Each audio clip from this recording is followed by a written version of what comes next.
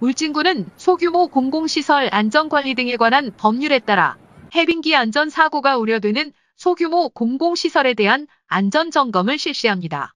소규모 공공시설은 타 법률에서 관리되지 않는 길이 100m 미만의 소규량과 폭 1m, 길이 50m 이상의 세천, 평균 폭 2.5m 이상의 농로 및 마을 진입로, 하천을 이용하여 농업 용수를 관계하는 취입보, 그리고 유속 제한을 위해 설치하는 낙차공 등을 통칭합니다.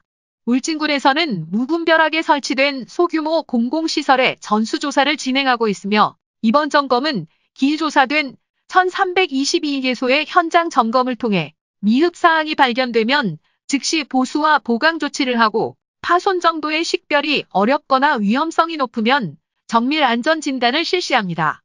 전창걸 울진군수는 소규모 공공시설의 점검과 정비를 통해 자연재해로부터 피해를 예방할 수 있도록 최선을 다하겠다며 소규모 위험시설 지정 및 정비 계획을 통하여 장기적인 계획을 수립할 예정이다라고 밝혔습니다. Ulgin Media Network.